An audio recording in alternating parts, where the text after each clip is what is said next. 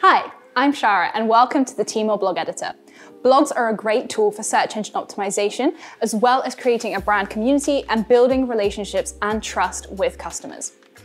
Here's a tour of the main features and a few quick tips to get the most out of blogging. In the main editing space, you'll see all the standard writing tools.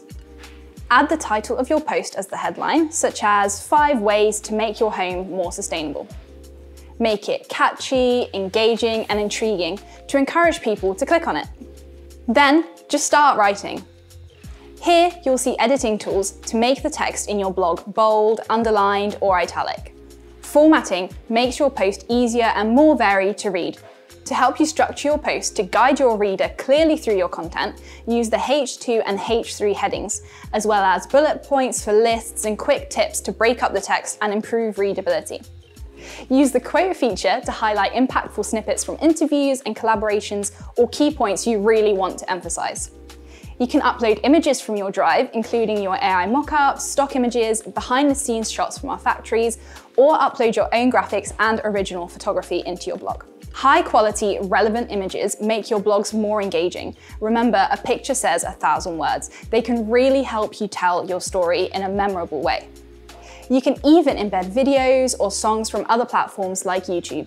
Great for turning vlogs you create into blogs so you can reach even more people.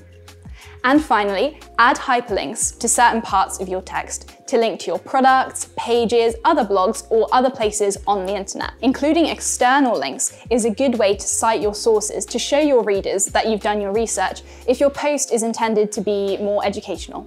Once you've finished writing your blog post, it's time to save up and optimize for SEO. Upload an image to the thumbnail of your blog here. In the description, summarize the content of your post in a way that encourages people to click through and read it. This description is what you can use in your email newsletters and on social media, saving you time further down the line when you're marketing your blog. Make it less than 150 words to optimize it for readers using mobile devices, for context, the ideal email copy length is between 50 to 125 words. There are advanced features you can edit here too, which help you optimize your blog post for search engines, helping the people searching for content like yours to find it.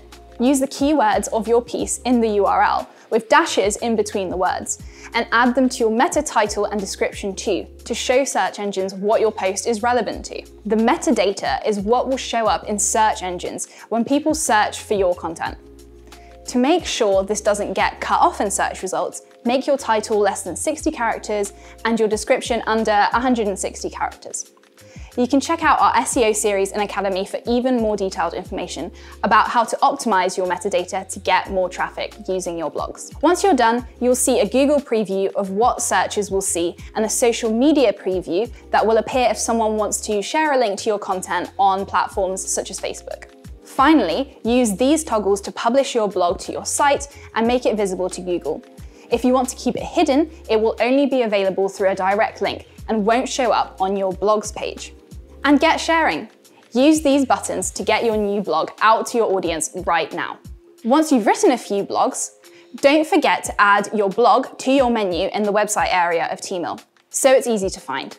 To find ideas for what to write about, you can head to TRank, your built-in SEO tool, which provides you with ideas relevant to your demographic.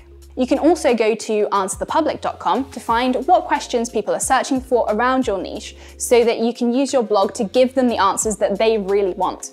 One final tip from us, remember that blog content should be educational, inspirational, or entertaining, not salesy.